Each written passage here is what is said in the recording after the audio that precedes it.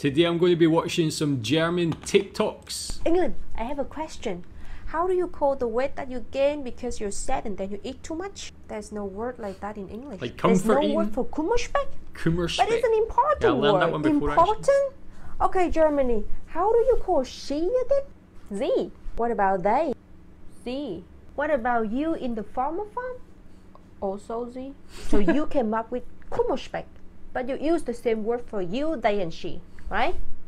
M- maybe. Things that That's interesting because it's obviously I've only heard so far about the words in Germany being very effi- efficient in combining words to make one word, but that's also a very efficient use of the language using the same word for having different meanings. It's the same here in Malaysia. I can speak Malaysian relatively fluently, and for he and she, him and her, is all the one word, dia. So kind of similar to German actually. This one here, things that shocked me when I moved to Germany from Scotland. This should be a it good. idea. shocked me when I moved to Germany as a Scots lass. Alcohol in Berlin is super cheap and you can buy it pretty much whenever you want. One in euro? Scotland, it's illegal to buy alcohol in stores after 10 pm. Yeah, that's true actually, and it's expensive. Yeah, like we have this alcohol tax that's been increasing over the years to, because there's been a lot of binge drinking in younger people in Scotland. They've tried to like increase the price. You really can't trust young Scottish people to uh, appreciate alcohol, but yeah, obviously different in in Germany. And it's expensive. Naked saunas. Seriously. German spa culture is great, but let's be real, Scots are prudes, and the whole naked sauna thing took some serious getting used to. You Yeah, I don't know if I'm a prude, but I don't think I could go to a naked sauna. Tell me if you've ever been to a naked sauna before. How is that experience? I don't mind a sauna. I don't mind going for a spa and things like that, but I prefer to like be relatively clothed. do you have to pay for contraception though. In Scotland, everything is free, so you don't have to worry about whether you can afford the birth control that's best suited to you. America. Yeah, that's true. That in Scotland, I feel quite privileged, even though I don't live there at the moment. But when it comes to healthcare, everything's free. Even like as you say, birth control, getting all your medicine and things like that is all free. But is that true that you have to pay for that in uh, Germany also? Okay, let's see. This American's first time in Jim's Germany. first time in Germany. Oh! Oh! oh! Is that like the Greek plate smashing thing? But a German version? Why is everybody so excited? Excuse me, do you know what's going on here? That is because they make marriage. That's because they're getting married? Or are they just getting all that anger out? Makes sense. Real question is, who wants to be my wife so we can break some shit? I'm getting Tell me if that I, I never heard of that tradition before. That's why I, I like this channel, not just to watch videos and things, but it's to learn all these different things. And traditions is definitely something I'm interested in finding out more about with regards to Germany. Is that common in all of Germany? Is that a certain region or something like that? getting married to a German, and here is something I didn't know before as a Vietnamese. To marry me, he only needs an ID. I need 500 documents that take a year to prepare, and I have to go back to Vietnam to do that. He needs to call my parents mom and dad because we're Vietnamese, but nothing changed for me. I still address his parents by their first name. The hmm. cost of That one as well, just before shoot I go on, is interesting. Is that common? Like, if you get married to someone, does do your partner still call them their first name? Because here in Asia, which is maybe similar because she's from Vietnam, uh, I have to call my wife's uh, parents like mum and dad, and that was weird for me to begin with. I'm so used to thinking I've only got one mum and dad, but to call someone else mum and dad felt felt a bit quite uh, weird. But now it's normal.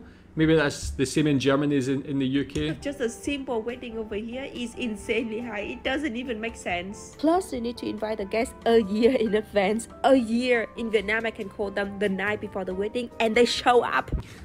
What is he doing? Sir, you cannot do that. That's stealing. Excuse me, uh, what is the problem? Sir, you cannot do that. You cannot put this in your bag. We just gotta hope nobody sees it now. Yeah, I've seen that is the way that uh, bottles are presented in Germany actually, just from one of the other videos. You have to buy all six. but I only want one. Well, I'm not from Germany, but that seems wrong. An American being Some people pushy in, in, in other people's grocery store. business. I don't even need these sugary drinks. I just gotta cut this watermelon. Excuse me. Is that the Would you bread like to cutter? play a German drinking game. Sounds good. What are we playing? It is a card game. You must draw a card and each card type has a rule. Oh, king. It is called Chancellors. Zwei. Bitte verzeih. It is a two and I must ask for forgiveness. I would like to apologize for my country's horrific behavior during the war. Oh, oh, th- thank. I, I thank you for saying that. I, And oh, now you! All right. That is the most card in the game. It is a Rob Schneider Joker. You must now tell a joke. Oh, just tell a joke. Get a load of this guy. Do you know how hard it is to tell a Uh, joke? a horse walks into a bar. The bartender asks, "Why the long face?" That is the greatest joke I have heard in my life. You must be the funniest man alive. Because a horse would not be allowed into a bar. And a bartender, he would not talk to a horse. I mean, yeah, it's that, and the fact that he asks a horse, "Why the long face?" Thank you for dining with us. Is that like something to do with a play on like the German sense of humor or something like that? Quite quite funny, man. Here's your bill. Thank you. Here's my card. Oh, sorry, we take cash only. But that's the big restaurant. So, in the middle of the city. Are you new to Germany? I just came last week. There's an ATM nearby, 15 minutes walk from here. 15 minutes walk? I'm just gonna put my phone here so that you know I'm not gonna run away. Are you sure you want to go on this wine wanderung in the rain? Zack, es gibt kein schlechtes Wetter, es gibt nur die falschen Klamotten, okay? Okay. Here, Zack, let's have some wine. Okay, in public? It's legal. Get out your glass, okay? Okay, okay. Gosh. What is that? It's a red solo cup. Let's have a party. This is an insult to German wine culture. okay, I'm not done yet. Wait, I pour the water. So, Why are you pouring water in my wine? That is Is that common? Is that the sparkling water maybe? I Culture shock Probably after yeah, moving yeah. to Germany from the US. Did that little girl just get off the train by herself? Yeah, little kids walk by themselves to school all the time in Germany. But it looks like she's six.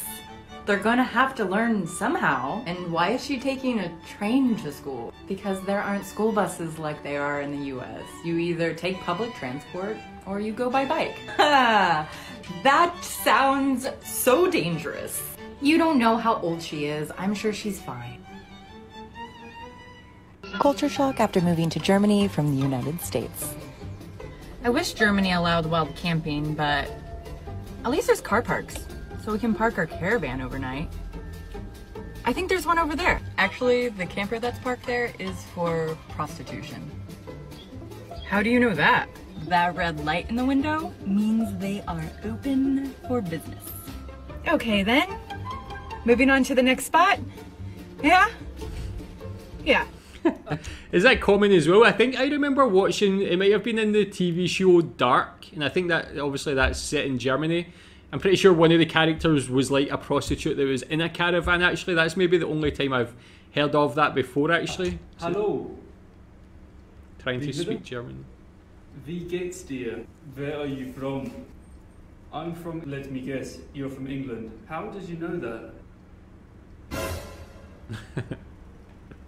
You don't have to make a fool of yourself trying to speak German. After all, most Germans have an extremely high level of English. As for myself, I took an exchange year at Oxford University studying English literature and Advanced law, so don't feel any pressure to speak German here. That's a relief. Oh, excuse me, sir. You dropped this. Warum sprichst du kein Deutsch? Wer in Deutschland leben will, muss Deutsch sprechen. This So interesting because that's the same as here in Malaysia. Like I said, I can speak Malay, but in Malaysia, pretty much everybody, especially in Kuala Lumpur, can speak English as well. So when you try to actually go into a shop, they always want to speak in English to me because I'm white, obviously. And trying to actually speak to the younger generation in Malay is very difficult. They just want to speak English. Like, But it is the same with the older generation who can only only really speak Malay as well. Quite similar, This is what actually. it's like moving to Germany for the first time. What a beautiful Sunday. Ah, there's nothing to do on Sundays. I gotta go vacuum.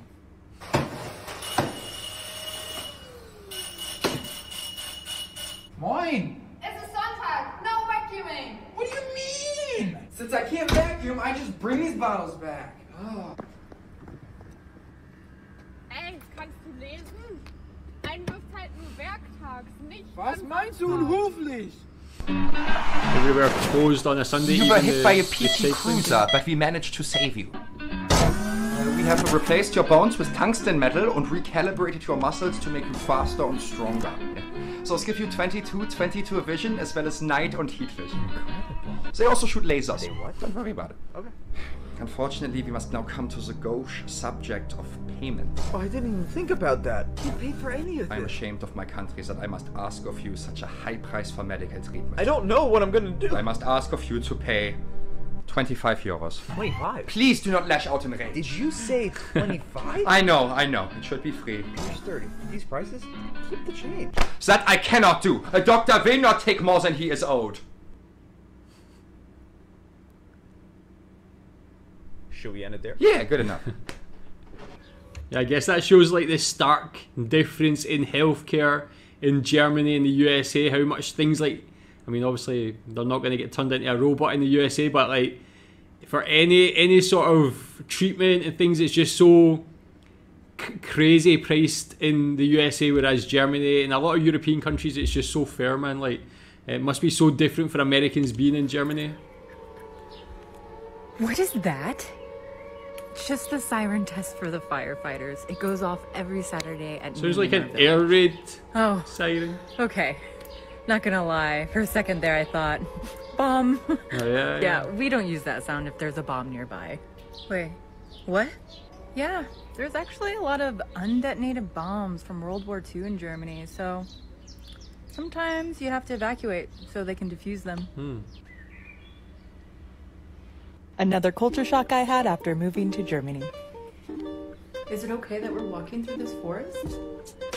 Well, of course. Everyone can roam through the forest in Germany, even if it's on private property. Even on private property? If you did that in the US, you better be careful. You might get shot at. Yeah, a lot of them, man, were like really interesting because they're comparing Germany and the USA for a lot of them, even Scotland there as well, which was quite interesting. But you can see like people who go to Germany from the USA just have feel like they have so much more freedom, just have such a better quality of life. Uh, tell me what you think about them. Thanks.